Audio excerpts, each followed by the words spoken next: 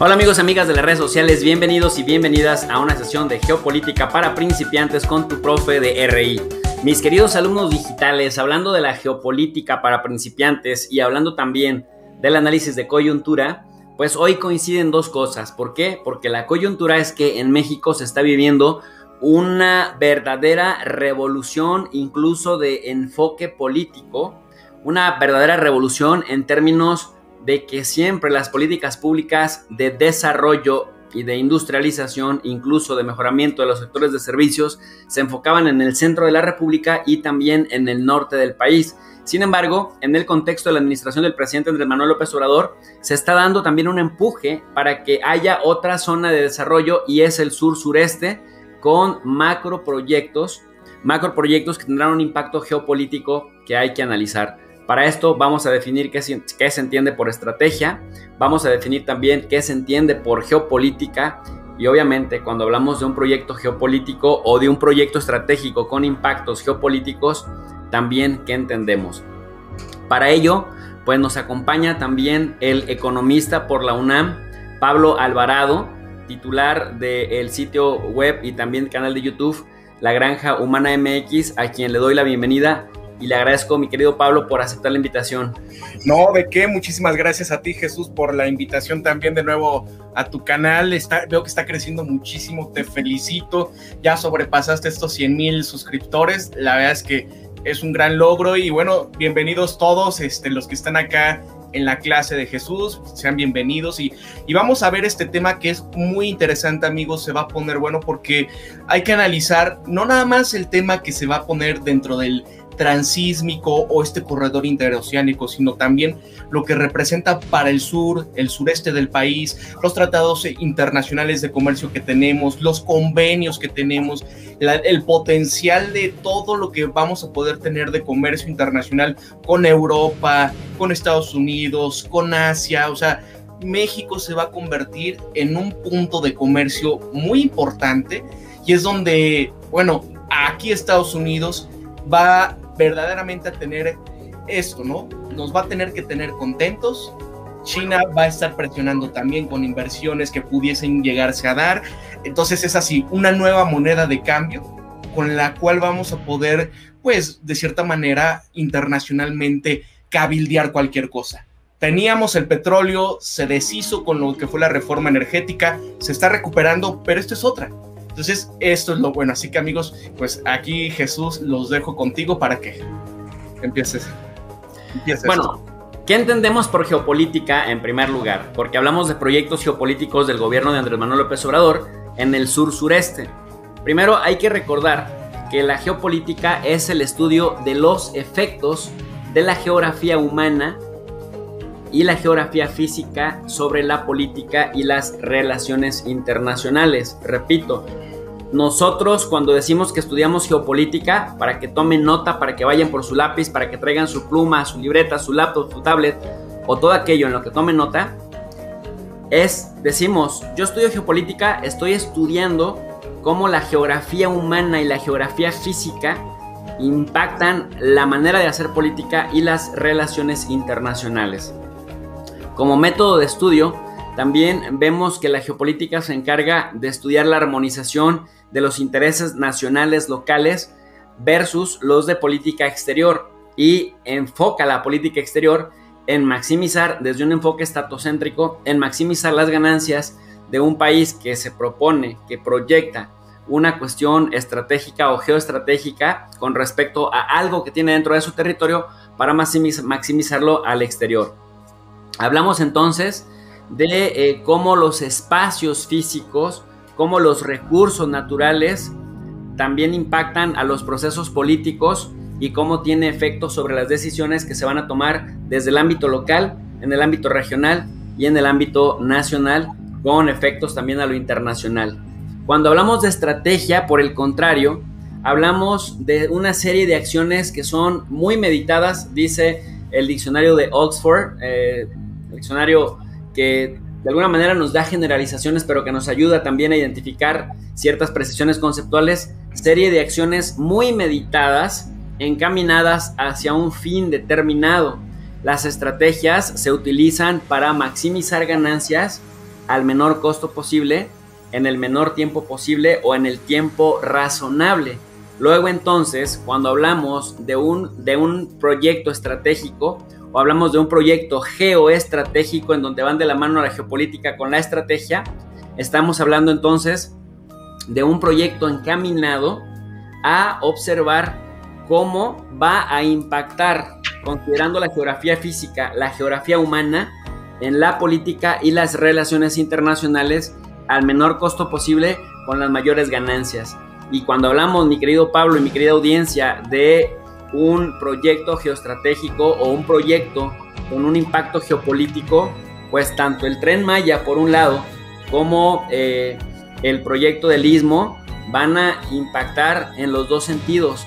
Primero porque van a ayudar a desarrollar una zona que había sido históricamente olvidada por los gobiernos tanto de la independencia como los gobiernos de la revolución y por otro lado pues también por los gobiernos neoliberales a los que dice el presidente ni siquiera les importaba ni siquiera para robar a pesar de que está almacenado ahí un gran tesoro arquitectónico, antropológico, histórico, cultural y obviamente en términos de recursos naturales todavía no podemos dimensionar lo que ahí se encuentra.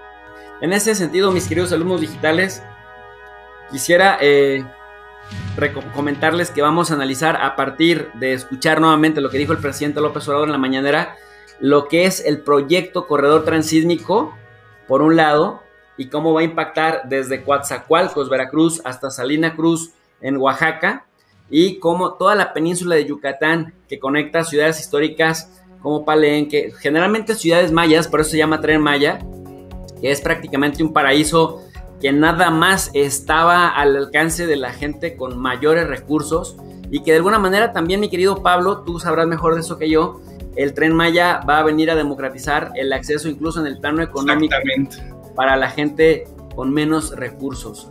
Exactamente, sí, Jesús. Es que mira, quien haya ido, quien haya viajado eh, a la Riviera Maya, y mira, hay una situación que se da, por ejemplo, en Playa del Carmen, ¿no? o en Cancún, vaya toda la zona turística. Cuando somos jóvenes, a veces, yo me acuerdo, 2008 me fui un verano, todavía estaba en la universidad, me fui a trabajar y todo, eh, para pues pagarme el viaje también, ¿no? Era parte de estar en el relajo, estar en esto, pero te vas dando cuenta no nada más de las circunstancias que, se, que están en las principales zonas, sino vas viendo las necesidades de la gente que vive por ahí, porque no todos viven dentro de las ciudades, no todos viven en Playa del Carmen, no todos viven exactamente en, donde va a estar, sino que hay muchos poblados, son, son carreteras bastante extensas, son autopistas, pero la gente tiene que gastar en el transporte que son combis. Combis que se van hechas la mole verdaderamente, eh, incluso se hace peligroso para poder llegar, ¿no? Desde los poblados en donde se encuentran hasta donde están ya sea los hoteles de gran turismo, de cinco estrellas o a estos centros. Entonces, ¿qué se necesita para empezar, como dice Jesús, a democratizar, a incluir a toda la población, a mejorar las condiciones de vida? Pues algo principal es el transporte. Entonces, si se tiene este tren, la gente ya no tendría que estar gastando tanto en este tipo de transporte, la gente pudiese llegar más rápido, de manera más segura, porque no, no, pasa esto, ¿no? Que cada, cada coche, cada camioneta de estas que, que van por ahí, pues es un riesgo. Entonces, bueno, nos vamos en tren, nos vamos en tren que es para pasajeros y adelante. No nada más eso, sino lo que se va a poder permitir muchos de estos poblados es el poder ofrecer sus productos de manera no nada más local, porque hay muchos, como les comento, ¿no? También poblados por ahí en donde que hay piñas, que hay este, que otros mangos y un sinfín de cosas que ellos venden, ¿no? Eh, guayas y, y frutas de la zona, quesos, artesanías, pero no nada más eso, pueden ofrecer otras cosas, no nada más ahí en donde están los topes de cada poblado, porque es donde pasan y se van deteniendo los coches, porque obviamente hay un tope, pero es lo único que tienen, ¿no? Son zonas abandonadas, zonas donde, bueno, la gente tiene que, salir de ahí precisamente para irse quizás a, algunos lugares dentro de estos hoteles que dicen, bueno, para algunos empleados les vamos a permitir, pero son condiciones muy difíciles, muy complejas para para vivir. Imagínate el clima de la zona donde están eh, en promedio 34 grados eh, al año, pero es un clima muy húmedo. Entonces, así como en el norte, que se estamos a cuarenta y tantos y demás, ¿no? Pero es, es, distinto. Cuando es húmedo, e, es, terrible el calor, ¿no? Entonces te imaginarás las condiciones en donde se encuentran, los salarios que están por debajo de lo que se paga realmente a, mucha gente, porque se aprovechan de que, bueno, e, esta gente, pues no habla completamente a veces el español, se aprovechan de, la inocencia de muchos de ellos y, dicen, bueno, quieres o déjalo, ¿no?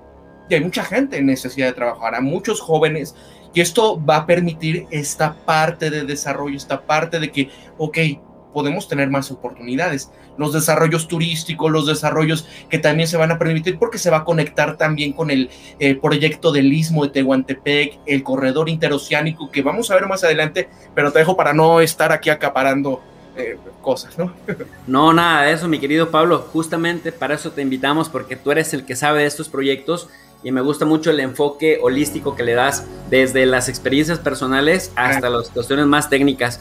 Fíjate, estaba pensando que incluso Gabriel Cuadri se va a tener que arrepentir y espero que en unos 10 o 15 años cuando Cuadri vaya a pedir trabajo a Guerrero, a Oaxaca o a Chiapas. Quiere continuar de político allá.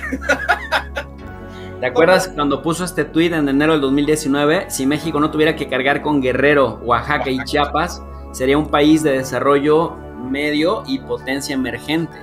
Pues el presidente López Obrador le está demostrando que lejos de lo que dice esta gente clasista, racista y muy discriminadora, México, gracias a Campeche, a Yucatán, a Chiapas, a Oaxaca y a Guerrero, va a convertirse en esa potencia a la cual los neoliberales no pudieron llevarnos. Igual Samuel García, que junto con el Bronco parecen la réplica. No sé si viste por ahí, mi querido Pablo, un meme que andaba circulando.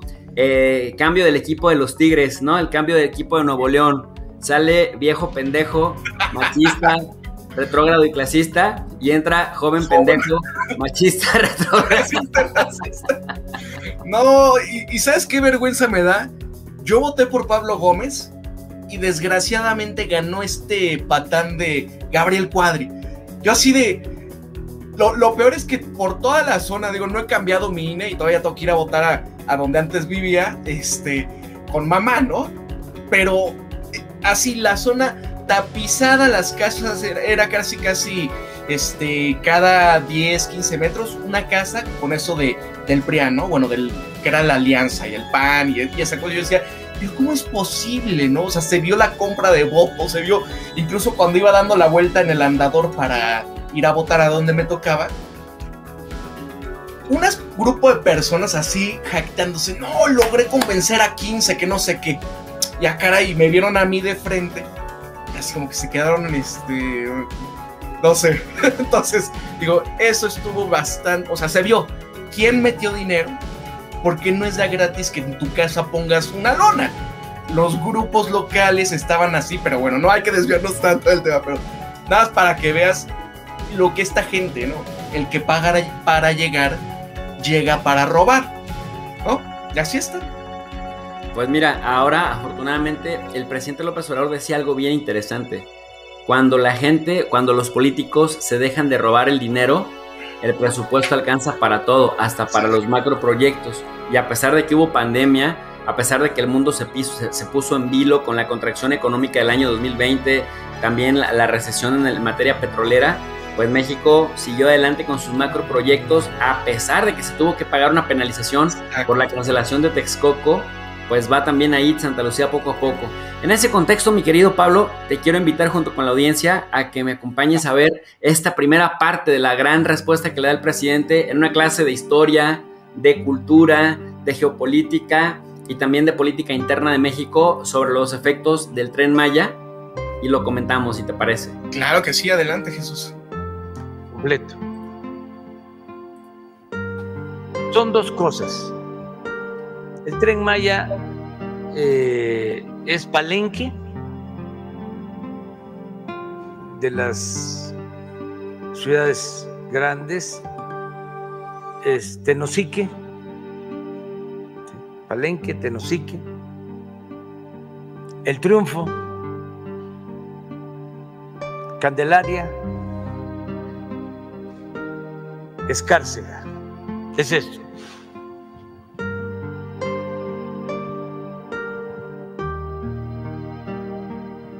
Palenque, Tenosique, El Triunfo, Escárcega. Este es el tramo 1. Ya se está trabajando en este tramo. Aquí pues es el sitio arqueológico más emblemático de toda la región maya, Palenque. Esto es lo más bello que puede haber. Eh, en lo cultural, en lo artístico, también en lo que tiene que ver con el ambiente. Eh, la naturaleza. Esto es bellísimo, Boca del Cerro. Aquí es donde eh, el río Sumacinta ya se convierte en navegable. Es el río que viene de Guatemala. A la orilla de ese río, porque esa era la gran avenida en la época prehispánica, era eh, la forma en que se eh, trasladaban los mayas eh, en grandes canoas, cayucos. Viene de, arriba y a la orilla del río, este, sea Chiapas y enfrente está Guatemala, está Yachilán, que es un sitio arqueológico también bellísimo. Más abajo está Piedras Negras, Yachilán del lado de México, de, este lado del río, Piedras Negras del otro lado del río. Entonces, aquí en Boca del Cerro también hay zonas arqueológicas. Aquí acabamos de encontrar un fragmento de eh, una figurita olmeca lo cual demuestra la influencia de los olmecas en toda la región. Esto es muy bello. Luego, aquí en el Triunfo, toda esta zona por aquí, están zonas arqueológicas importantes, Reforma y otras. Se acaba de eh, descubrir una gran zona arqueológica en, en este sitio, Maya Aquí es Escárcega, es como un cruce de caminos. Entonces, el tren se va a Campeche, aquí está Esna, otra gran ciudad. El concepto del tren es ciudades mayas, antiguas ciudades mayas y nuevas ciudades. Entonces, Campeche, pues, es una nueva ciudad, es una de las ciudades más bellas del país, ciudad amurallada. luego, pues a Calquiní, por ejemplo, y aquí está aproximadamente, aquí donde tengo mi mano, Uxmal, que es otra gran ciudad maya. Mérida, una ciudad bellísima.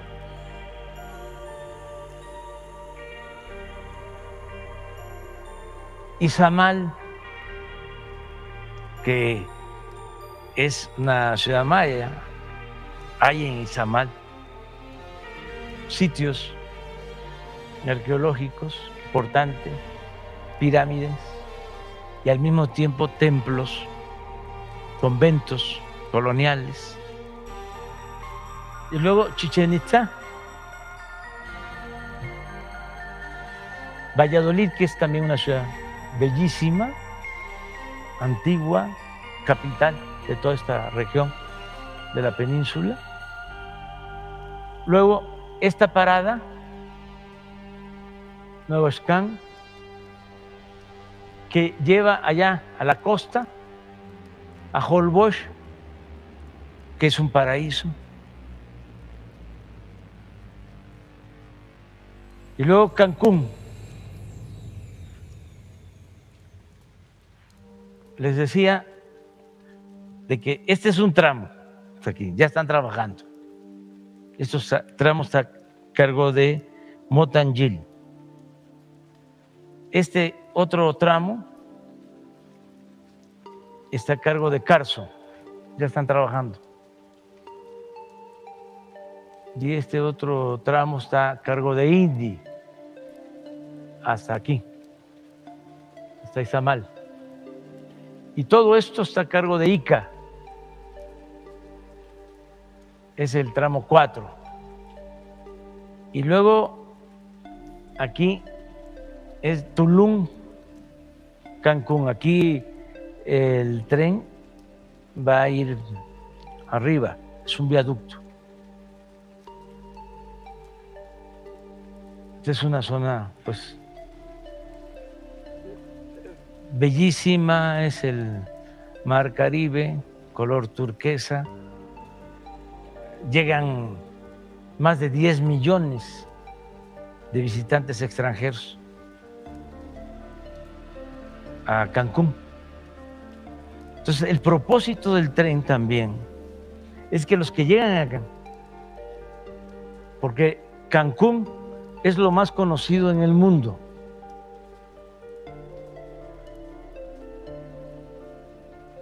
Entonces, lo que queremos es que los que llegan acá puedan bajar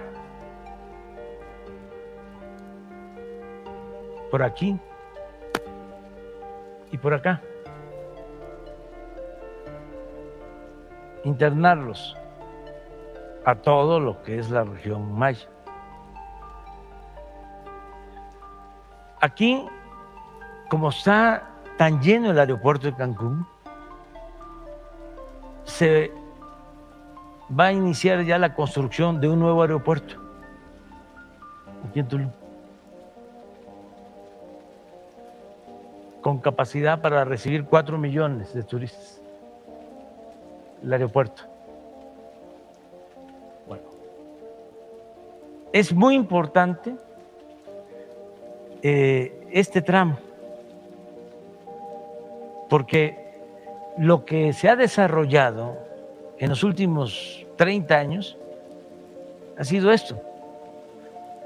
Nada más de todo el sureste. Cancún.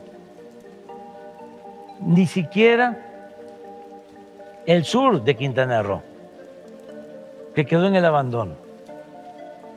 Y todo lo demás. Entonces, ahora es bajar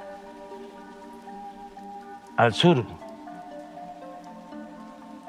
como diría Serrat, el sur también existe. Entonces, aquí es bajar a Felipe Carrillo Puerto, ese es el corazón de la zona maya, antes eh, Chan Santa Cruz, que fue la resistencia de los mayas ante el exterminio de la guerra de castas y del porfiriato. Fíjense la historia tan importante. Quintana Roo eh, se separa de Yucatán con Porfirio Díaz porque querían quedarse con todas las tierras. Esta isla, que es Cozumel, era de un hermano. Se la entregaron a un hermano de don Justo Sierra. Entonces, eh, consideraban que eran tierras nacionales y eran tierras de los mayas. Y por eso el exterminio, lo que sucedió en Sonora con los yaquis.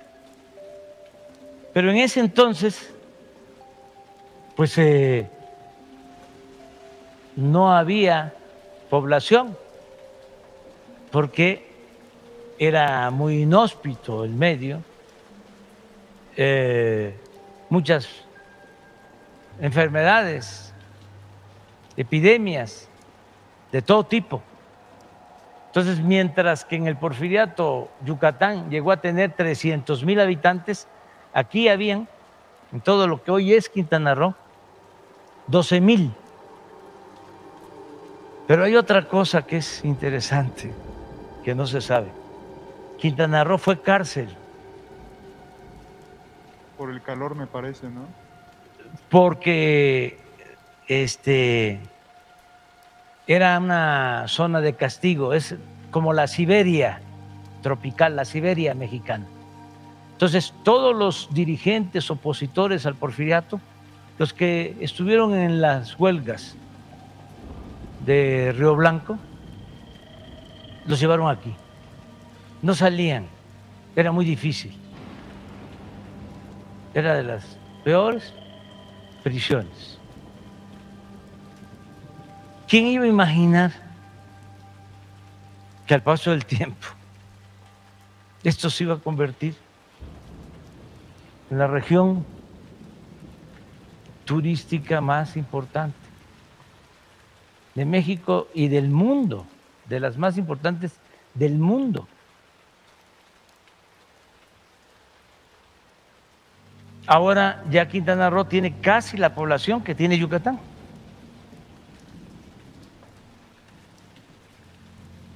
Entonces es bajar a eh, Felipe Carrillo Puerto,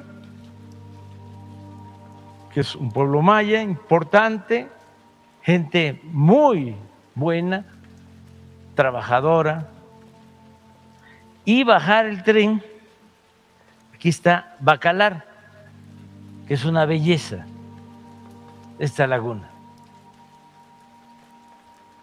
Chetumal, aquí están los límites ya.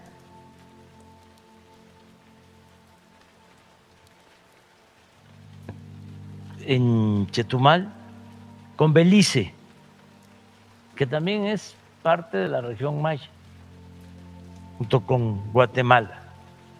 Luego, aquí es Espujil, que es el límite de Quintana Roo con Campeche.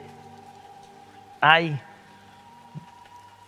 eh, una disputa por este territorio, por esta franja, que van a resolver los de la Suprema Corte de Justicia entre los estados. Afortunadamente va bien y este se respetan los límites actuales. Espujil eh, es una población importante que es la cabecera municipal de Calakmul. Aquí está Calakmul, esta. Esta es Calakmul. Esta es una belleza eh, arqueológica. en línea recta está Tikal, Guatemala. Entonces, es del mismo tiempo. Aquí en la raya de Guatemala con México, del lado de Guatemala hay otra zona que se llama el Mirador. Bueno, el tren lo que busca es, a ver, esto es una zona natural protegida. Entonces, cuidando la zona natural protegida, se va a poder llegar a Calakmul. Aquí hay venados y armadillos y pavos reales y pájaros. Esto es una belleza. Otro paraíso. Y la zona muy importante, porque tiene Em, antecedentes como Teotihuacán, que se fue haciendo por etapas, por épocas. Abajo hay una pirámide eh, más antigua, luego construyeron otra. Aquí hay una abajo de eh, siglo III antes de, antes de Cristo. Muy en el periodo Olmeca o el periodo temprano Maya. y la cubrieron con otra pirámide. Bueno, lo que hay abajo son murales, afortunadamente no intervenidos y bien cuidados. Los mismos mayas de la época del clásico maya protegieron lo que venía de atrás. Entonces, hay unas pinturas bellísimas de artistas. Está pintado un mercado maya. Ahora no se puede ir. Está cerrado y lo tenemos que cuidar bien. Que esto es único, es un tesoro. Bueno, seguimos y aquí encontramos de nuevo Escárcega. ¿Sí? Estos son 1500 kilómetros. Este tren lo queremos terminar para finales del 23. Por eso estamos trabajando eh, con todo. Afortunadamente aprovecho para agradecerle mucho a las comunidades porque aún cuando no hay afectaciones porque se utiliza el derecho de vía, acuérdense que existía el ferrocarril del sureste, todo esto de aquí, Palenque, hasta Valladolid. Lo nuevo es esto, pero va por la carretera, el, tren. Incluso aquí de Cancún, les decía, a Tulum, que hay mucho tráfico, va arriba, como un segundo piso. Va a ser un tren moderno, turístico, em, panorámico, que va a estar viéndose la selva verde y en el fondo eh, el Mar Caribe. Entonces, este es un proyecto, llega hasta aquí. Luego, a ver si me pones nada más el sureste. Pues mi querido Pablo, estamos hablando de un proyectazo que tiene 1554 kilómetros con 19 estaciones, pensado para terminarse en el año 2023 a finales con cuatro tramos que son imponentes, que rozan con la frontera con Belice y pasan cerca también de la frontera con Guatemala. Estamos hablando, lo que decía el presidente, así bien explicadito con el mapa este, el primer trayecto que empieza de Palenque a Boca del Cerro, paraíso natural lleno de naturaleza viva y de una riqueza arqueológica que todavía está por descubrirse. El tramo 2 de la ciudad mayas, Escárcega, eh, que es el cruce de caminos en donde cierra al regreso este, la ciudad amurallada de Campeche, Uxmal, Mérida, Izamal y Chichen Itza, junto con Valladolid. Y luego después en el tramo 3, este Novochcan con Holbox, Cancún. Y la, el tramo final, Cancún, Puerto Morelos, Playa del Carmen, Tulum, Felipe Carrillo, Puerto, el corazón de la zona maya. Chan, Santa Cruz, Bacalar y Espujil, que está en disputa entre los estados de Campeche y de Quintana Roo me parece que estamos hablando, si a eso le agregamos, querido Pablo, algo que Ricky Riquín Canallín criticaba y que Felipe Calderón hasta llegó a poner jaguares de Sudáfrica para defender la selva que se estaba, ¿te acuerdas? Sí, sí, pues, sí, sí. Por el derecho de vía de los, de los trenes que ya existían y esta parte nueva que va sobre la carretera, prácticamente el impacto ambiental es bastante reducido y esto terminado, estamos hablando de que se llevaría el turismo a otro nivel y que se revolucionaría la región. Claro, mira, por ejemplo, la ciudad de Chetumal que se menciona acá, que tiene la frontera con Belice, son que como 10, 15 minutos llegas rápido a la frontera, hay zona libre, es una zona bastante buena para comercio, pero Chetumal desgraciadamente depende, eh, o espero que dependía de cierta manera, en la administración de gobierno de Quintana Roo, ¿no? Es, Chetumal es la capital de Quintana Roo. Ahí como lo vemos y todo, pues esto va a permitir que la región también despeje, que haya más comercio, que se pueda conectar directamente, no nada más por lo que es la autopista, la carretera, aeropuerto, sino que un tren permita el libre tránsito de personas, permite el libre tránsito de más mercancías, de comercio, va a revolucionarlo todo porque eh, eh, eso que te comento de que vivían de la administración, porque ahí estaban todas las oficinas, o gran parte sigue de lo que es gobierno, ¿no? Y pues bueno, Cancún, Tulum, todo se administraba de cierta manera el gobierno en Chetumal. Entonces va cambiando todo esto, se va abandonando la región, se va quedando en el olvido, eh, empieza más situaciones de crisis económicas a, través del tiempo y dices, bueno, mira, que la gente diga que no. O sea, nada más, como tú dices, ¿no? Ricky Riquín Canallín, el Felipe Borolas Calderón, que, que empiezan a utilizar todo lo que encuentran, ¿no? Porque no es así como que verifican, sino todo este sesgo de confirmación que van teniendo, es decir, que todo se ajuste a lo que ellos quieren dar a entender, a comunicarse con memes, a comunicarse con cosas que, que la gente desgraciadamente que está en contra lo empieza a compartir con este tipo de infodemia nada más por el, el odio que tienen hacia el nuevo gobierno, ¿no? Y es que no tenemos que verlo así. Hay que analizar las cosas en el sentido económico, en el sentido social, en el sentido de lo que se puede llegar a hacer, porque hay que recordar que el sureste, el sur del país, han sido las zonas más olvidadas que hemos tenido. Incluso todo esto del tren, los trenes del sureste se, se, se olvidaron, ¿no? Cuando se repartió el pastel, cuando Ernesto Cedillo vendió eh, o privatizó los trenes y que incluso este tipo y sus hijos y sus familiares se hicieron billonarios, eh, los incluyeron en la administración de estas compañías, ¿no? Como el Kansas City Railway, que se quedó con casi la mayoría de los trenes del país.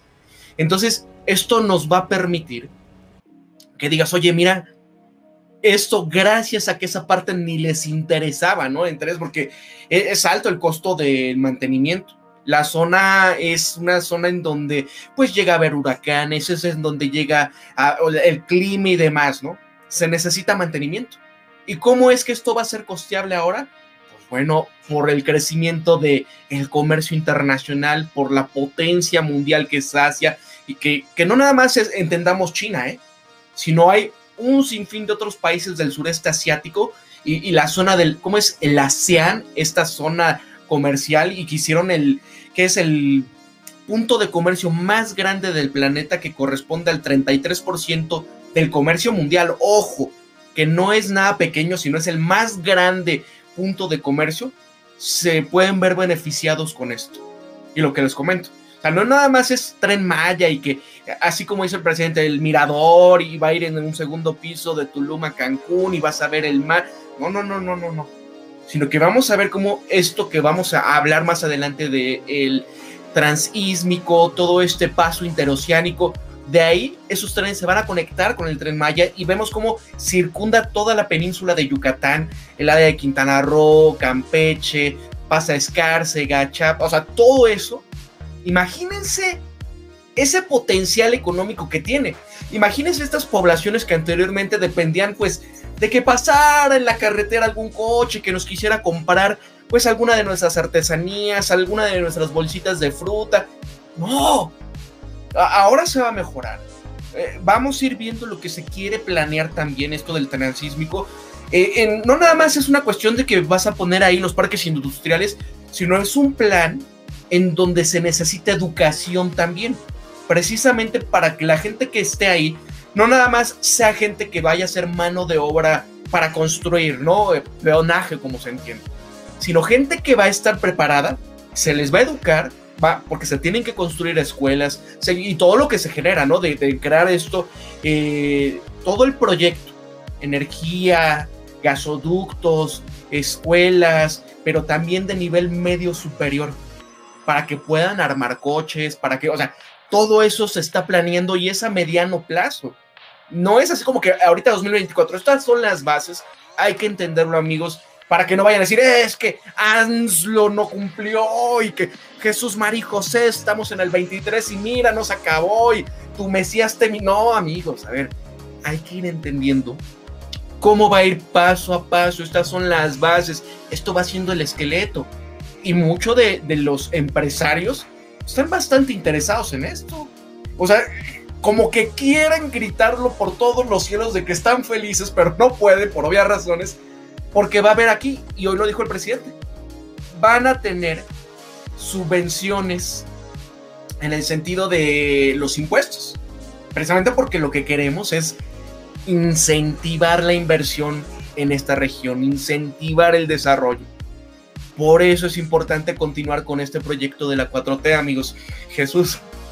Ya hasta me están dando ganas de, invertir en, en sector inmobiliario allá, mi querido Pablo, cerca de pues donde pasa el tren Maya. Exactamente, o sea, muchas zonas que pasan por ahí se van a desarrollar. Y es así como que, bueno, incluso hasta ser interesante ir, invertir, eh, Ahorita que todo está barato, ¿no? Un terreno, una casa. Y de aquí a 20, 25 años, imagina tu familia, ¿no? Que vayan siendo así, que se establecieron, que van estudiando y cuando van creciendo van a tener este desarrollo. Eso es lo interesante. Ya no es así como que tienen que esperar a, a viajar al centro del país o a otra ciudad importante, al Bajío, al norte. Ya, ya no van a tener esta necesidad de estar huyendo porque desgraciadamente Es, eso, ¿no? Irse de refugiados económicos o por la violencia precisamente que, que se deriva de, la pobreza, de las faltas de oportunidades. Eso es lo importante, Jesús. Adelante. Sí, sabes que la primera vez que fui a Europa tuve la oportunidad de estar en Barcelona, en Madrid, en París, en Bruselas, Brujas y también fui a La Haya y a Ámsterdam y a Rotterdam, Holanda. Y pues todo en puro tren y me acuerdo que me encontraba yo a mexicanos allá, clase medieros, de esos aspiracionistas que todo lo aplauden si es Europa y que aquí en México no se habían subido nunca al metro y estaban fascinados con el tren. O sea, iban en la segunda clase, pero ellos en el boleto económico, pero se sentían soñados. Oye, con algunos de ellos sigo en contacto, pues ahora ya son algunos maestros, ya son doctores, ya son arquitectos, pues estaban en Europa estudiando y ahora que regresaron acá, pues ya son profesionistas con familia, ¿no? Y, los escuchas hablar pestes del tren Maya. Entonces. ah, pero pasa por allá y ahí sí, ay, mira los arbolitos, el tren. Y, sí, sí, y en Europa es como, oh, wow, la máxima experiencia de viajar en tren. Esto te lo comento en razón, pues, de que aplauden todo lo que ven en el extranjero, pero si lo hace en México, además un gobierno que se considera de izquierda, entonces tiene tintes de socialismo. Mi querido eh, Pablo, quiero mandarle saludos hablando de gente de Europa a Margarita eh, espero haberlo mencionado bien, que nos está viendo desde Suiza, y también a la gente que nos está viendo desde Canadá, desde Estados Unidos y desde Guatemala, que también están contentos. La gente del Salvador nos dice, aquí también tenemos el tren transpacífico que está haciendo Nayib Bukele y que de alguna manera le sigue un poco los pasos al presidente López Obrador. Oye, me pareció fantástico lo que dice el presidente López Obrador de van a llegar a Cancún, pero de aquí los vamos a mover por el lado de Campeche y los vamos a mover por el lado de Chetumal. E, es que es, por ejemplo, la zona es Tulum, Cancún y, visitar eso, ¿no? A la redonda. Pero hay más cosas. Y, y, te digo por qué no se, o sea, sí se llega a visitar, pero obviamente es gente que pues tiene las ganas de ir a conocer otra zona que no nada más sea Cancún o Tulum, ¿no? Sino que dice, güey, quiero irme más al sur. Vámonos, este, hasta Chetumal, vámonos a Bacalar, vámonos, este, a Majahual y, a otras zonas. Y obviamente, ¿por qué no? Pues es que es el tiempo, ¿no? Porque verdaderamente es que es, es extenso, de, creo que de Chetumal hasta Cancún son como 7, 6 horas. Imagínate, o sea, es una distancia grande que dices, no, es que ya pierdo el, día, ¿no? ya estoy perdiendo esto y, tengo pocos días de vacaciones y con esto, imagínate, la experiencia de viajar en el tren, de ver todo, porque e, es increíble el paisaje por allá. Incluso cuando tú vas, por ejemplo, en la carretera de, este, por donde estaba Calar, llega un momento en donde ves hacia la, donde está la, la laguna, y los colores son increíbles, son porque eso es la laguna de los siete colores. Así y es. hermoso, ¿no? igual lo que él dice, ya ahí en esos pasos vas a ver, va a haber un segundo piso de tren para que sea el turístico. Y va a ser increíble. O sea, la vista va a ser increíble. Y es así, mira, conectados, transporte rápido, eficiente, barato, porque dices, adelante, ¿no? Vámonos este, en el barato. Y eso es lo que mucha gente joven dice, vámonos, ¿no? De mochilazo, de esto, y a visitar lo demás. Mira, este, mi querido Pablo, si la gente que luego me dice conspiracionista, que quién me paga, aquí está la prueba de que sí me paga George Soros. sí, sí, sí, sí, sí. Muchas gracias, mi querido George Soros, por, por el superchat que nos manda. Y sí, George, a invertir al sur sureste mexicano porque ahí está la inversión, la tasa de retorno de inversión va a estar relativamente temprana. Saludos también a Raúl Maitorena que manda un super sticker. Muchas gracias, mi querido Raúl. Gracias por estarnos viendo, por estar compartiendo la transmisión. Me dice mucha gente que no les llegó la, la, alerta de YouTube de que estamos ya eh, transmitiendo en vivo. Así que yo les pido, por favor, que compartan la transmisión para, pues, decirle a YouTube que sí somos público orgánico y que estamos al 100 retroalimentando el canal. Y luego, bueno, te quería comentar, tú eres economista, mi querido Pablo, de formación de la mejor universidad de este país, la UNAM. Gracias. Y esto que estamos viendo, si no es keynesianismo, entonces, ¿qué es? Van a decirte que es el castrochavismo, que el Club de Puebla o el Foro de Sao Paulo, eso es lo que van a decir la gente.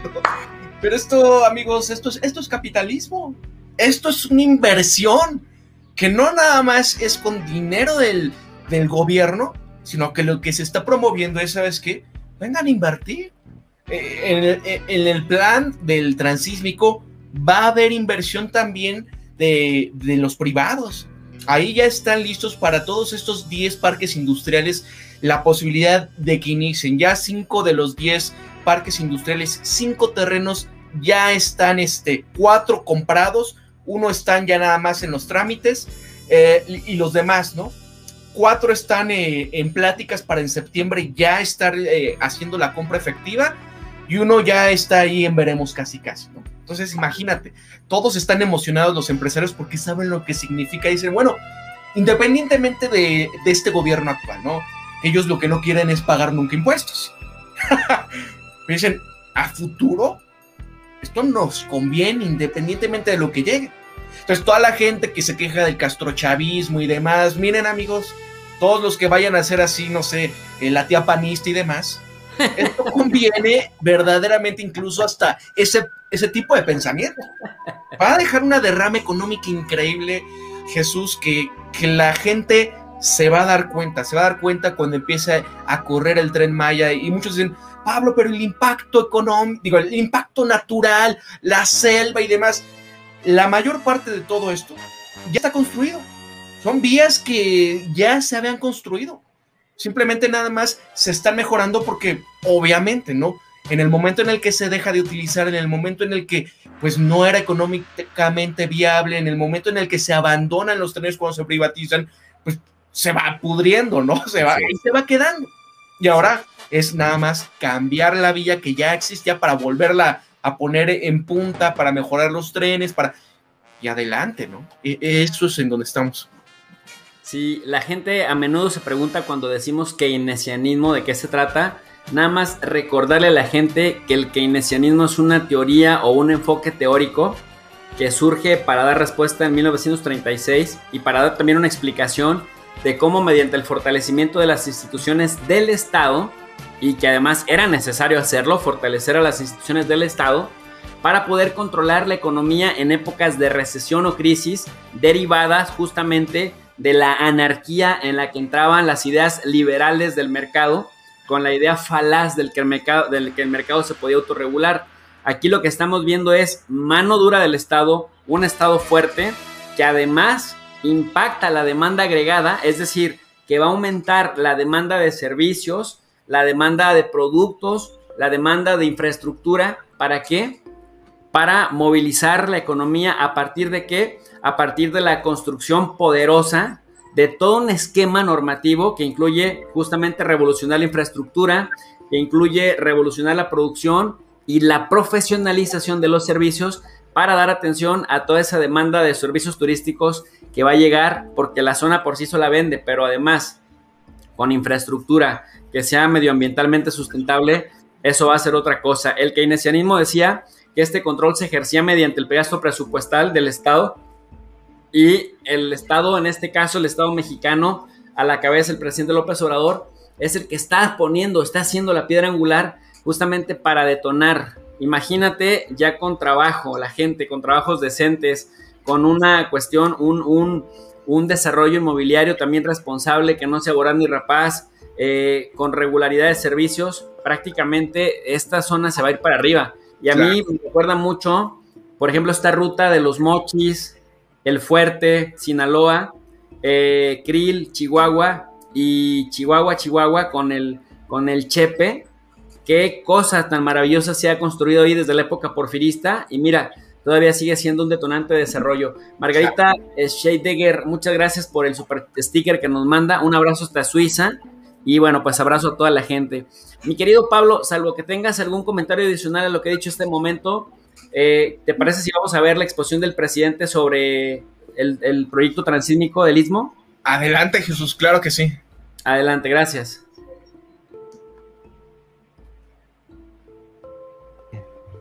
De Palenque eso es.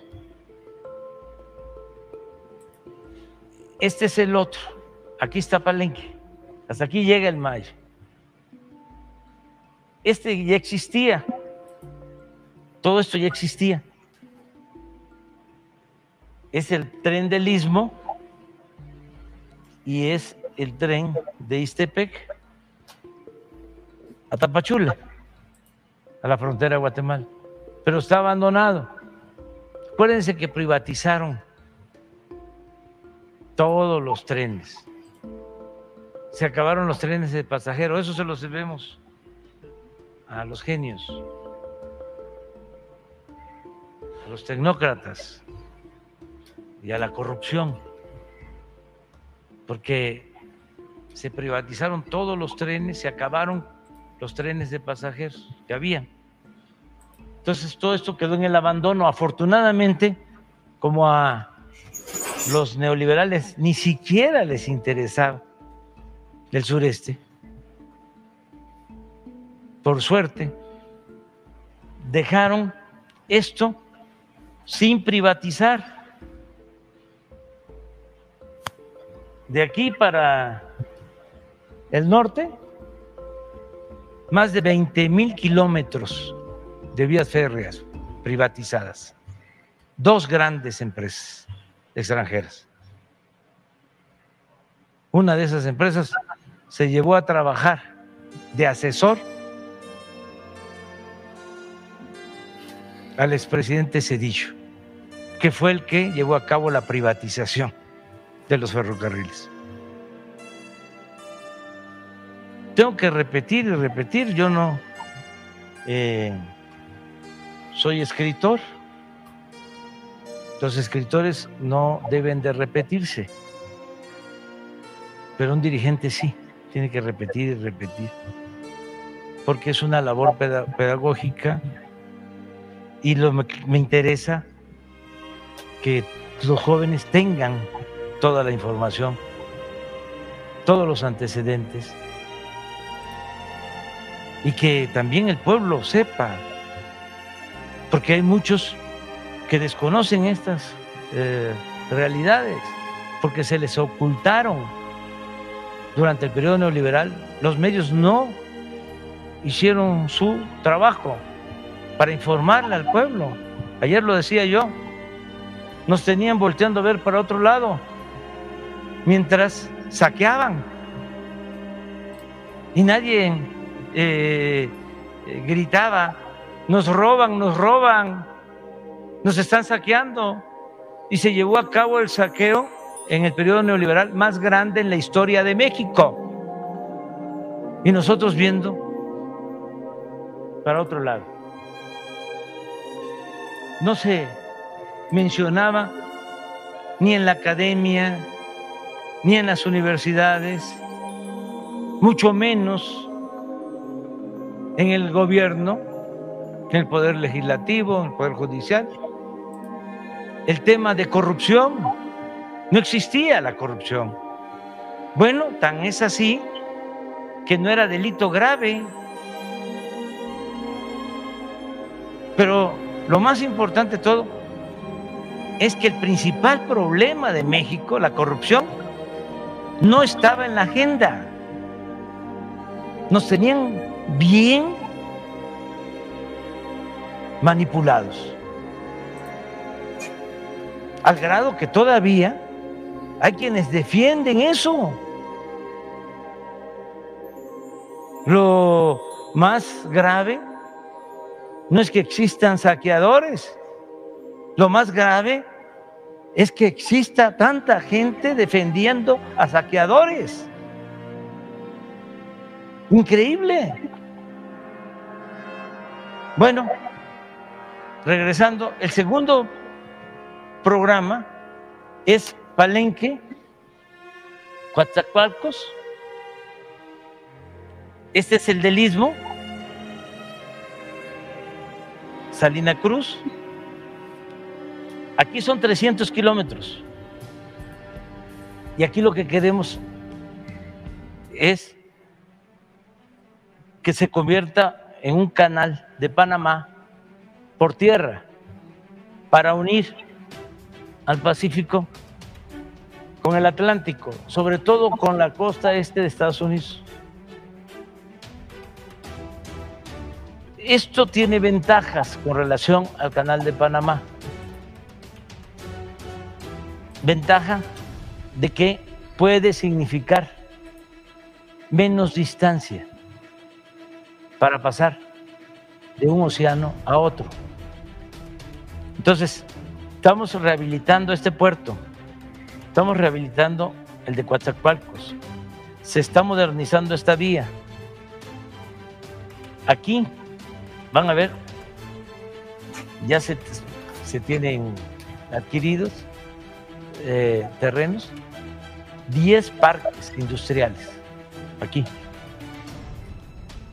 Las empresas que se quieran ubicar en estos parques industriales van a tener subsidios fiscales. ¿Por qué queremos que esto se convierta en una cortina de desarrollo para que los que por necesidad tienen que pasar al norte tengan aquí opciones de trabajo. Bueno, el plan incluye rehabilitar, decía yo, de Palenque a eh, Coatzacoalcos. Ya se está trabajando aquí y vamos también a rehabilitar esta vía de Istepec a los límites con Guatemala. Este es el segundo proyecto. El ramal que mencionas es un ramal de estación Chontalpa a Dos Bocas. Dos Bocas está aquí, la nueva refinería. Entonces vamos a construir este ramal.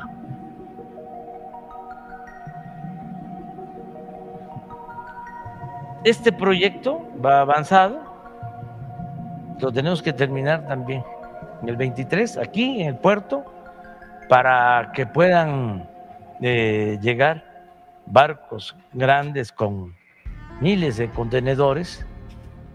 Estamos construyendo, por ejemplo, un ropeolas mar adentro para crear las condiciones, modernizar este puerto. Este puerto lo hizo Porfirio Díaz, como el de Coatzacoalcos y como el de Veracruz, los hizo con un empresario inglés, Pearson, que era su contratista favorito.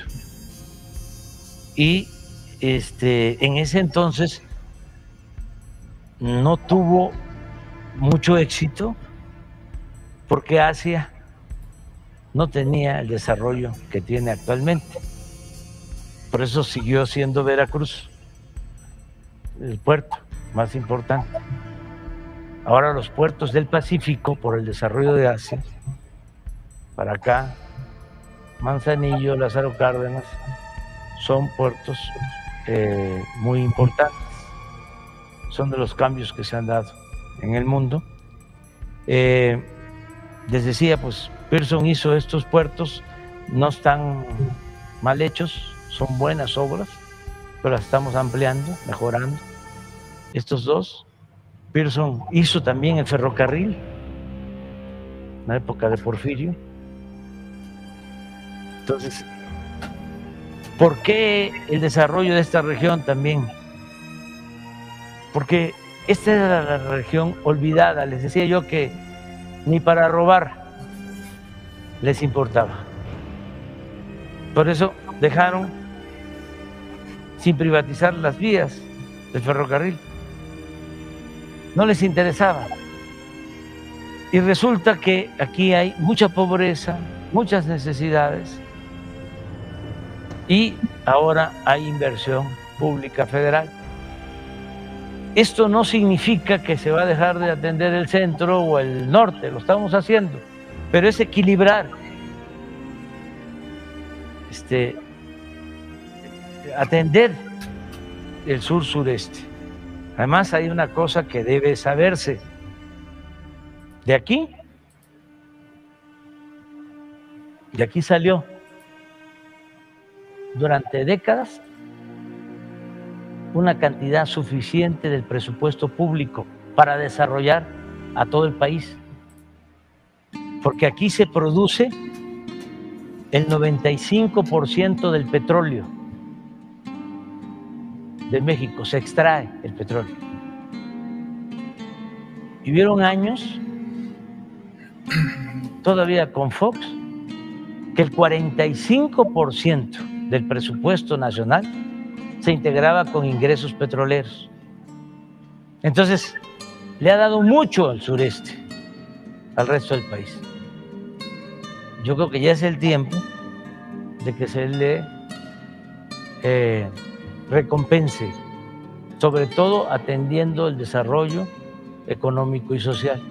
Y esto incluye Veracruz, incluye Guerrero, donde voy hoy, a eso, incluye Oaxaca, eh, Chiapas,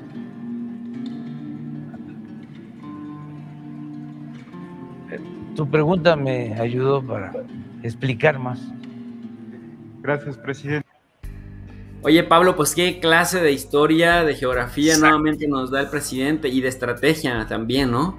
Sí, está preparadísimo en todo esto porque él, no a veces me cuentan, no, no, no, él viaja, está en todos este tipo de desarrollos, está en la refinería de Dos Bocas, está en el desarrollo de los puertos de Salina Cruz, el que está en Coatzacoalcos, está viendo a ver qué, está pasando, ¿no? Él, él va y como dice, yo recojo los sentimientos de la gente, porque no es como cualquier tipo de estos que, que Gabriel Cuadri, el Bronco, el Samuel García, que totalmente desconectados de la realidad del país, ¿no? Para ellos lo único que existe es Estados Unidos y parte de donde se refugian en alguna mansión de, sus estados, pero verdaderamente no conocen el país, no han viajado por el país. Y esto que comentas, ¿no? Que a veces hay gente que visita, va a Canadá, va a Europa, pasa por los trenes y oye, mira qué lindo, qué bonita la naturaleza, el tren y demás pero ah, no lo vayan a hacer aquí en México porque no es posible, van a desbastar todo y demás. Oye, pero a ver, espérate. ¿Por qué cuando es allá? Ahí sí es bonito, ahí sí es cool, ahí sí es eh, amigable con el medio ambiente. ¿Por qué aquí no pensar? Y, esto, ¿eh? Todo este proyecto se está con los máximos estándares internacionales, ¿eh? Del cuidado con el medio ambiente. Pero ellos sacan rápidamente de la manga este tipo de argumentos para desviar la atención, es que no va a servir, es que es un capricho del presidente, es que así no hanlo, y, y oye, escucha por lo menos este tipo de argumentación que están teniendo, escucha la historia, ¿no? Desde Tatadías que se habían hecho estos ferrocarriles, desde Tatadías que se había hecho el paso del transísmico y todo, pero ¿por qué se olvidó, no? Que era económicamente viable. El, comercio internacional no existía como hoy en día existe. Y hay que recordar, creo que es más del 90% del comercio internacional va a través de medios marítimos, de agua.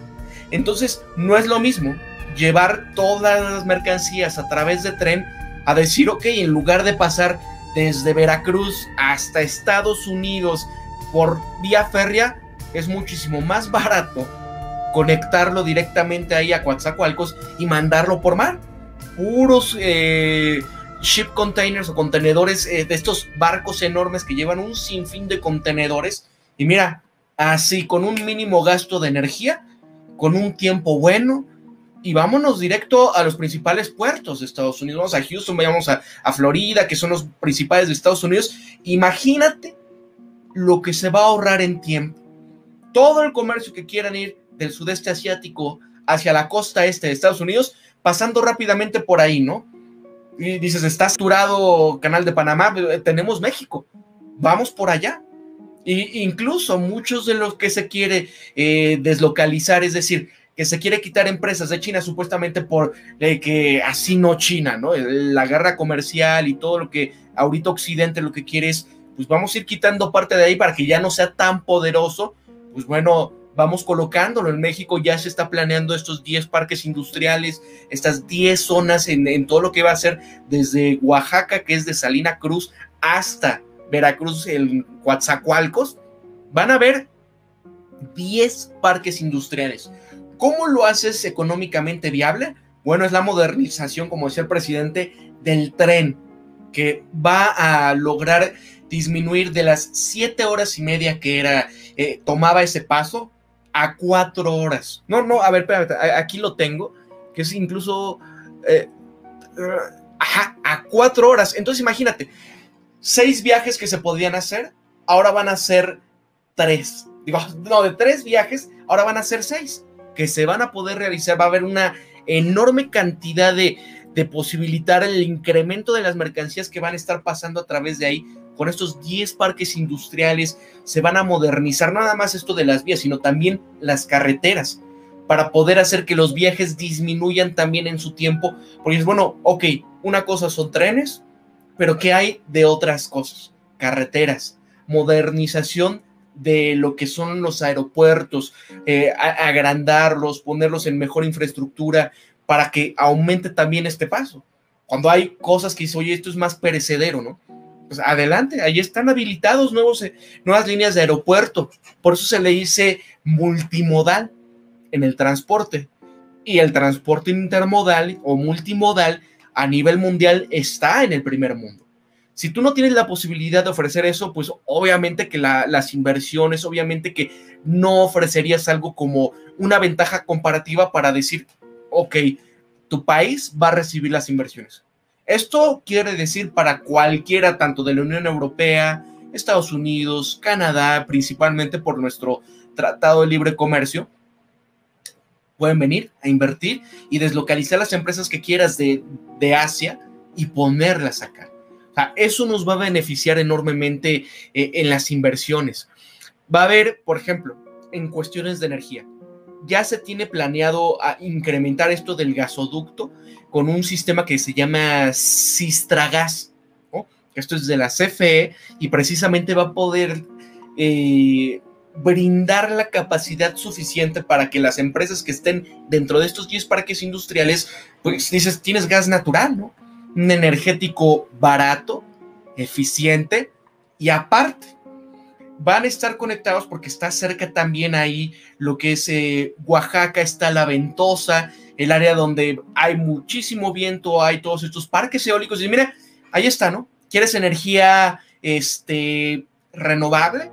¿Quieres ir con todos estos protocolos del Acuerdo de París? ¿Quieres utilizar? Porque eso te puedo apostar, ¿no? Como Siempre Estados Unidos lo que busca es que, que sus vecinos o sus este, contrincantes no puedan tener algo.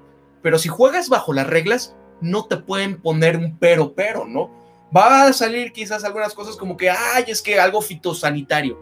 Pero bueno, o sea, en ese sentido de que lo energético, sí, pero que se tengan que este, administrar, suministrar de energía con energías renovables adelante, ahí está, ¿no?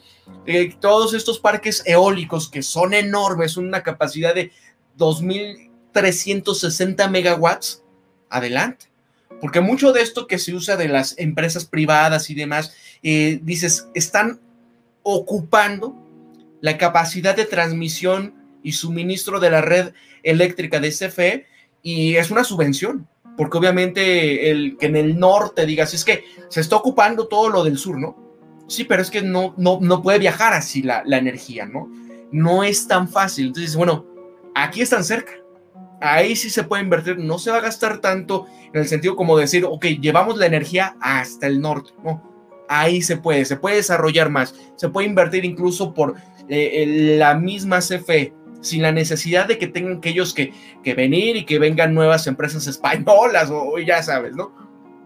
Esto va a beneficiar a la región, nos va a poder blindar ante algún elemento que nos digan es que, ¿sabes que No se puede invertir, porque BlackRock, que es el principal fondo de, más bien administradora de fondos de inversión mundial, traen eh, eh, aquí en el entredicho que solo van a invertir ya no en proyectos que tengan que ver con combustibles fósiles, ¿no? Sino cosas así como sustentables. Amigos, vengan a invertirlo, ahí, es, ahí está y lo van a hacer por, eso está blindado este proyecto. Este, van a, lo que te comentaba de la creación de carreteras para mejorarlas. Se van a ahorrar un 50% del tiempo, por ejemplo, de Mitla, Tehuantepec a Cayuca, La Ventosa, con tiempos de traslado con una reducción de 50%. Esto que te comentaba, ¿no? Estándares internacionales de materia de sustentabilidad. Oye, ¿quieres decir, no? Gabriel Cuadri o Felipe Calderón, que, oye, mira, estás eliminando, ¿no? Y, cuando es un jaguar eh, este, africano, ¿o qué? De, Sudáfrica. De Sudáfrica, ¿no? Y ahorita lo que tienen de problemón ¿eh? en Sudáfrica.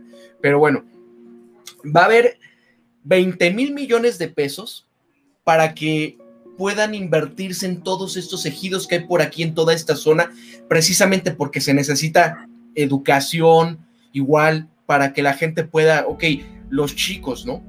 Que puedan eh, suministrarse un apoyo en jóvenes construyendo el futuro.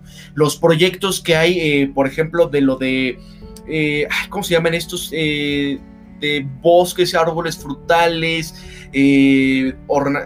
ornamentales y demás, también para que se puedan invertir y digas, ok, aquellos que no están contemplados dentro de trabajar en un parque industrial, pero también que se vean beneficiados por otro tipo de proyectos que están dentro de este tipo de cosas sustentables, ¿no? Son 20 mil millones de pesos para este tipo de apoyos, de subvenciones y, dinero que se le da a la gente, ¿no?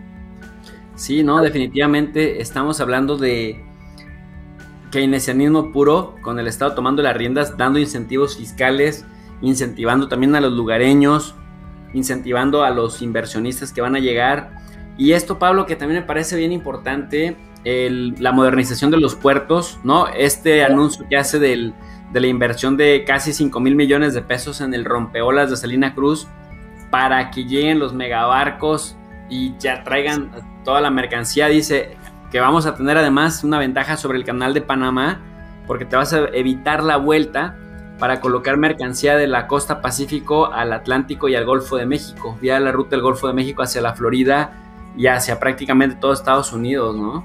Todo, todo, todo. O sea, verdaderamente es como te digo, ¿cuánto trabajo cuesta, por ejemplo, viajar en esto de los trenes, ¿no? De ir desde Veracruz hasta pasar Estados Unidos y, y de ahí ya irlo, pues pasando a través de todos los estados de la costa este.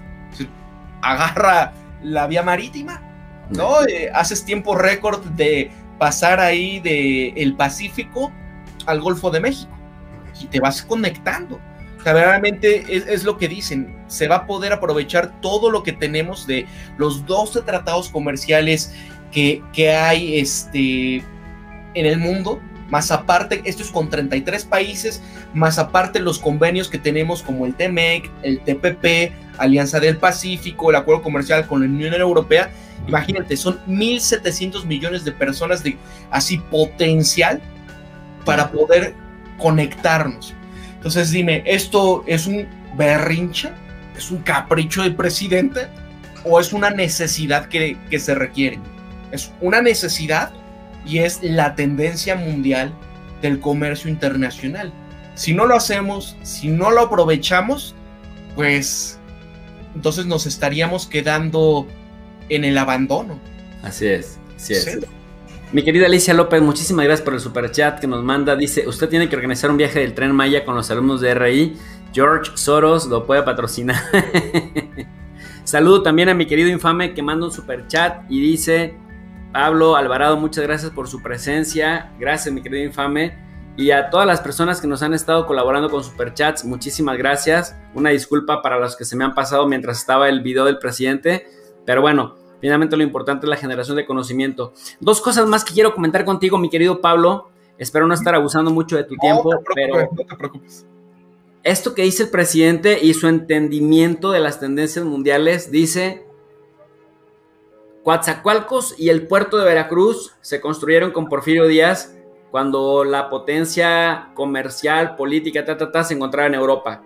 Pero ahora que el mundo está girando hacia, hacia Asia, sin H y con S, Asia, el continente asiático, pues ahora hay que ir a Salina Cruz a, modernizarlo sin abandonar este, pues los puertos como Lázaro Cárdenas y otros en el Pacífico, entendiendo que hacia acá viene la otra dinámica. Esa es una cosa.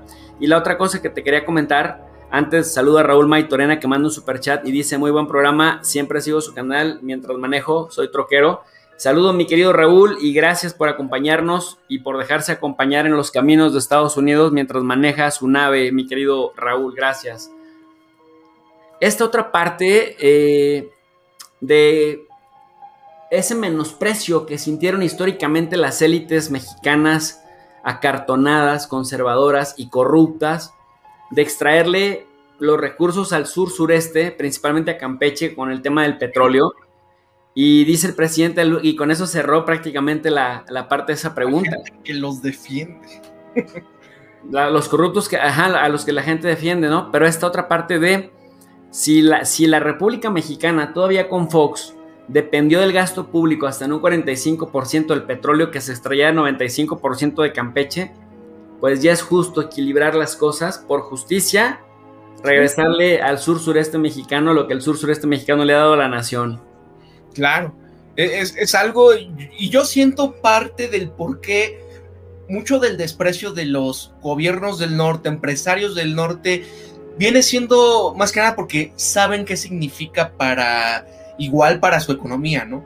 Porque no es lo mismo que un pastel te lo repartas entre pocos, a que el pastel, a que el comercio, a que la competitividad se comience a repartir en otro tipo de estados. No nada más te vas a quedar ahí en Nuevo León o, en Chihuahua, sino que se empiezan a abrir otro tipo de polos. Esto es porque saben que, que viene competencia para ellos y que dicen chispas, ¿no? O sea, no lo pueden decir abiertamente, por razones obvias, pero lo estamos viendo, ¿no? En, Oaxaca, lo estamos viendo en Veracruz, los gobernadores se ven emocionados, los que vienen, pues se van a querer pelear todo por, por esto, por las grandes inversiones y por el desarrollo que, que ya es así, es, es un hecho que va a haber un desarrollo, es un hecho que va a haber inversiones de todo tipo, es un hecho de que los pasos ahí, todas las comunicaciones se van a modernizar. Entonces no hay como que alguien diga que no se haga, nada más que como dice el presidente, es que había gente que estaba acostumbrada al saqueo, estos gobernadores que, que se acostumbraron a robar, que se acostumbraron a despilfarrar y, a venderlo todo, ¿no? El caso de Ernesto Cedillo, que al final terminó como en el caso de Felipe Calderón, trabajando como asesor de hoy día todas estas empresas que están siendo, oye, a ver qué está pasando. ¿Cómo es posible, no? Eh, eh, que, hayas dado estos convenios, que hayas hecho, firmado un contrato leonino en energía, ¿no? ¿Y quién estaba ahí? Y aquí, como decía el presidente, mira, los ferrocarriles privatizados y se pasó a ser parte de el consejo de estas empresas, como Kansas City Railway. Kansas City Railway, que creo que ya llegaron a un acuerdo para que eh, Canada eh, Pacific Railway, me parece, que es también parte inversionista esta, la esposa de, ex esposa de Bill Gates, pero que le dejaron esa parte, imagínate, ¿no? Todas las condiciones importantes que va heredando esta señora. Va, a tener mucha cuestión importante de México porque tiene FEMSA, tiene Televisa y ahora va a tener esto que se va a conectar precisamente, va desde Veracruz hasta Estados Unidos y desde Estados Unidos hasta Canadá. La principal empresa de ferroviaria de Canadá con Estados Unidos, ahora con parte de México. ¿Tú no crees que van a intentar apoderarse de esto? Obviamente que lo van a querer hacer. pero me parece que va a estar de cierta manera blindado, por lo menos porque es estatal, el ferrocarril de ahí. Toda esta zona. Lo que dijo el presidente, mira, por fortuna no les interesaba, lo menospreciaron, pero ahora las condiciones han cambiado y bueno, ahí vamos a ver ese, ese desarrollo, Jesús. Pues qué buen análisis, mi querido Pablo, te agradezco mucho. Le agradezco también a Enrique Castillo que manda un super chat y dice: Saludos, me anotan, en el viaje patrocinado. Y también Irma Adams, muchas gracias, mi querida Irma, por el super sticker que nos manda. Fíjate que parece que el 2023 está lejos, ¿no? Dice el presidente, esperamos terminar para finales del 2023. Si ya consideramos que estamos entrando a la segunda parte del año 2021, estamos hablando de solo dos años. Así que mi querida Alicia, mi querido Enrique Castillo y las mil personas que nos están viendo, si, se alcanza a inaugurar antes del 2023, antes de que se termine el 2023, estamos organizando un viaje, les doy mi palabra, que estamos organizando un viaje del canal de tu profe RI en el tren Maya entre enero y febrero del 2024, para los que sigamos con vida. igual este corredor ferroviario entre Oaxaca y Veracruz, igual finales del 2023. O sea, date cuenta cómo está queriendo hacerlo todo, todo, todo, todo, dejarlo casi, casi listo porque dice, mira, no vaya a ser que para 2024 eh, algo vaya a pasar ahí. Vamos a finalizarlo y ya está todo puesto, ¿no? Ya está el esqueleto.